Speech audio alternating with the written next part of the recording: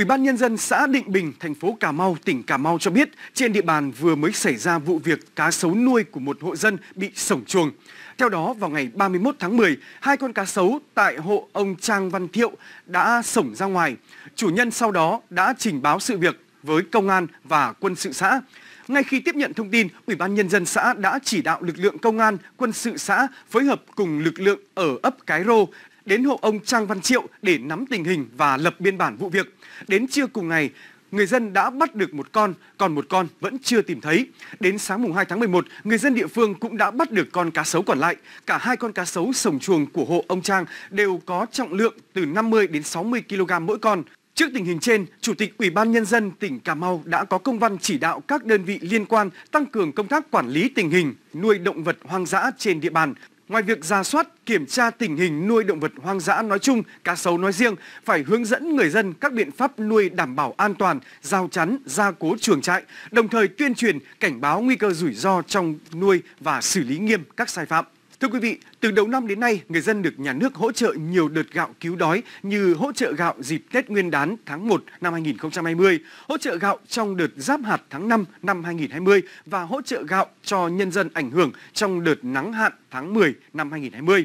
Tuy nhiên, trong quá trình cấp phát gạo, nhiều hộ dân có tên trong danh sách phê duyệt nhưng không được nhận gạo. Một số hộ dân được nhận nhưng bớt xén, không đủ số lượng được cấp. Nguyên nhân là do tổ trưởng của một tổ dân phố đã giả chữ ký để bớt xén gạo cứu đói. Ghi nhận tại tổ dân phố 1, thị trấn Ea Tling, huyện Cơ Rút, tỉnh Đắk Nông. Vợ mất, thân già sức yếu, không còn khả năng lao động. Ông Lường Trọng Hòa chỉ còn biết sống trông chờ vào đồng lương ít ỏi của hai người con đi làm xa gửi về. Những tưởng số gạo được trợ cấp sẽ giúp ông có được bữa ăn qua ngày. Thế nhưng ông Hòa lại không hề nhận được hạt gạo nào, trong khi danh sách nhận gạo hỗ trợ đã được ký nhận. Xưa nay tôi chưa biết 45 ký gạo là gì. Đợt trước đợt vừa rồi này này lại có chữ ký con của tôi nhưng không phải chữ ký chữ con tôi đâu con được nhận đâu. Thế thì kiểu vậy thì, thì, thì, thì đi đâu? Ai lấy về? Số gạo kia đi đâu bây giờ ở đâu? Tật nguyền mù chữ tất cả giấy tờ của chị Nguyễn Thị Cúc đều phải lăn tay thay cho chữ ký. Thế nhưng trong danh sách cấp phát gạo lại có chữ ký nhận của chị Cúc. Em mù chữ em không biết chữ ký em đi sáng nay em đi làm chứng minh em vẫn ăn tay nhá. Em làm giấy tờ thì em vẫn ăn tay em không có đi đi đi đi đi, đi chữ ký. Mà có tên em có có chữ ký em trong đấy. Em đỡ lúc ký đâu. Không biết chữ ký gì anh. Theo tìm hiểu của phóng viên trong đợt hạn hán vừa qua trên địa bàn thị trấn Ia Linh, có 592 hộ được hỗ trợ với hơn 30 tấn gạo. Số gạo trên sẽ được giao trực tiếp cho các tổ trưởng tổ dân phố quản lý, phân phát. Tuy nhiên, ông Hoàng Văn Chuẩn, tổ trưởng tổ dân phố 1 đã không làm đúng theo quy định, tự ký tên các hộ, tự ý cấp gạo cho người ngoài danh sách, gây dư luận không tốt cho nhân dân. Được biết, tổ dân phố 1 có 26 hộ được hỗ trợ với hơn 1 tấn gạo. Tuy nhiên, có đến 17 hộ không được nhận đủ gạo theo quy định với số lượng 630 kg, 4 hộ không được nhận gạo với số lượng 315 kg. Thị sẽ là tổ chức là họp dân, toàn bộ hộ dân ở tổ dân phố 1 công khai về vấn đề cái nội dung vụ việc vừa qua. À, thứ hai là, là yêu cầu tổ trưởng tổ dân phố là kiểm điểm trước dân. À, còn bước thứ ba là, là xin ý kiến của nhân dân về cái hình thức xử lý à, đối với tổ trưởng. Nếu mà trong độ tín nhiệm mức độ vi phạm mà dân đề nghị yêu cầu về vấn đề là bãi nhiệm tổ trưởng tổ dân phố thì trên cơ sở đó thì chính quyền địa phương sẽ xem xét để quyết định cấp phát gạo hỗ trợ phát quà cứu trợ cho các gia đình bị thiệt hại do hạn hán thiên tai là việc làm đúng đắn của bất kỳ tổ chức cá nhân nào. Tuy vậy, một số cá nhân có trách nhiệm lại cố tình làm sai với quy định. Việc này khiến cho người dân vào tình cảnh khó khăn chồng chất khó khăn. Bão số 10 tuy giảm cấp, gió nhẹ nhưng lượng mưa lớn hoàn lưu sau bão lại rất lớn. Sức tàn phá sẽ khó lường khi mà cả miền Trung vẫn đang no nước sau các trận mưa lũ trước đó. Hiện các địa phương đang tiếp tục chuẩn bị các phương án ứng phó với bão. Ủy ban nhân dân tỉnh Quảng Ngãi vừa gửi văn bản chỉ đạo của Chủ tịch Ủy ban nhân dân tỉnh yêu cầu các địa phương tiếp tục sơ tán di rời dân khỏi những nơi có nguy cơ sạt lở cao, vùng ngập sâu, trũng thấp, đặc biệt là các khu vực đã và đang bị sạt lở đất. Người dân nếu không có việc cấp thiết thì tuyệt đối không rời khỏi nơi tránh trú để quay về nhà.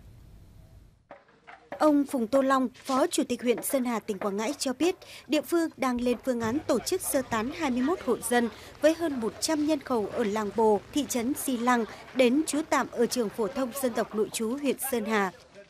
Tại huyện Sơn Tây, địa phương năm nào cũng xảy ra những vụ sạt lở lớn, đã và đang lập nhiều đoàn công tác về các xã, vận động sơ tán 630 hộ dân với hơn 2.000 nhân khẩu tại 52 điểm sạt lở núi.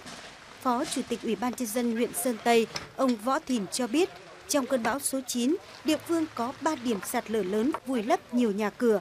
Tuy nhiên do nhờ di chuyển người dân từ trước nên không có thiệt hại về người. Quý vị, sau bão số 9 và các đợt mưa vừa qua, tại bờ kè bảo vệ đường Bạch Đằng thuộc phường 6 thành phố Tuy Hòa, tỉnh Phú Yên đã xuất hiện 5 vị trí sạt lở sụt lún với chiều dài khoảng 90 mét. Ủy ban nhân dân thành phố Tuy Hòa đã có văn bản hòa tốc kiến nghị Ủy ban nhân dân tỉnh Phú Yên chỉ đạo tỉnh đảm bảo an toàn cho khu vực này. Tại vị trí sạt lở, sóng biển tiếp tục xâm thực gây sói lở, sụt lún chân kè, tạo thành các hầm ếch sâu từ 1,5 đến 2 mét, rộng từ 3 đến 4 mét, cách khu dân cư hơn 20 mét. Nếu không được xử lý kịp thời, bão số 10 kèm sóng biển được dự báo cao từ 4 đến 6 mét xâm thực kết hợp với chiều cường sẽ phá hỏng đường Bạch Đằng, uy hiếp trực tiếp cuộc sống của hàng trăm hộ dân bên trong. Sáng nay, Hội thảo khoa học quốc tế quản lý thông tin trên mạng xã hội trong bối cảnh bùng nổ thông tin đã được tổ chức tại Hà Nội, gồm một phiên khai mạc và hai phiên chuyên đề với 6 tham luận do các chuyên gia Việt Nam và Hàn Quốc trình bày. Các nhà khoa học hai bên đã trao đổi kinh nghiệm, phương thức, giải pháp quản lý thông tin nhằm phát huy mặt tích cực, đồng thời hạn chế mặt tiêu cực của truyền thông xã hội hiện nay. Với sự phát triển của công nghệ, truyền thông xã hội đã trở thành một kênh trao đổi thông tin phổ biến, nhưng cũng là môi trường phát tán tin giả, thông tin xuyên tạc gây hậu quả nghiêm trọng. Các ý kiến thảo luận sẽ được tập hợp, từ đó góp phần hoàn thiện lý luận về truyền thông chính sách cho cả Việt Nam và Hàn Quốc. Thưa quý vị, Cục Đăng kiểm Việt Nam cho biết rằng do vi phạm giao thông nhưng các chủ xe chậm đến để làm thủ tục nộp phạt, nên trong 9 tháng đầu năm nay thì tổng số xe ô tô vi phạm bị chặn đăng kiểm là 21.000 xe. Theo Cục Đăng kiểm Việt Nam, số xe vi phạm bị chặn đăng kiểm này là phương tiện bị xử lý vi phạm trực tiếp trên đường và bị xử phạt nguội qua hệ thống camera giám sát giao thông, được trang bị trên nhiều tuyến cao tốc, đường đô thị tại các thành phố. Qua thống kê từ số liệu của Cảnh sát Giao thông các địa phương gửi đến, trong 9 tháng đầu năm 2020, Cục Đăng kiểm Việt Nam đã phát hiện hơn 21.000 trường hợp ô tô bị thông báo chặn đăng kiểm do chậm nộp phạt vi phạm giao thông. So sánh số lượng này với năm 2019, đại diện Cục Đăng kiểm Việt Nam cho biết vượt gấp 3 lần số xe bị từ chối trong cả năm 2019. Căn cứ vào danh sách cơ quan công an gửi đến, Cục Đăng kiểm Việt Nam có thẩm quyền chặn đăng kiểm với xe chậm nộp phạt giao thông trong thời gian vừa qua. Tuy nhiên, để tránh việc xe hết hạn đăng kiểm, người dân đưa đến trung tâm đăng kiểm nhưng lại bị trả về và gặp khó khăn trong việc lưu thông trên đường. Đại diện Cục Đăng kiểm Việt Nam cho biết, hiện Cục Đăng kiểm đang áp dụng phương án cấp đăng kiểm tạm thời cho chủ phương tiện được phép lưu thông trên đường trong vòng thời gian là 15 ngày. Trong thời gian này, chủ xe sẽ giải quyết các thủ tục nộp phạt, sau đó xe đưa đến và sẽ được giải quyết đăng kiểm bình thường.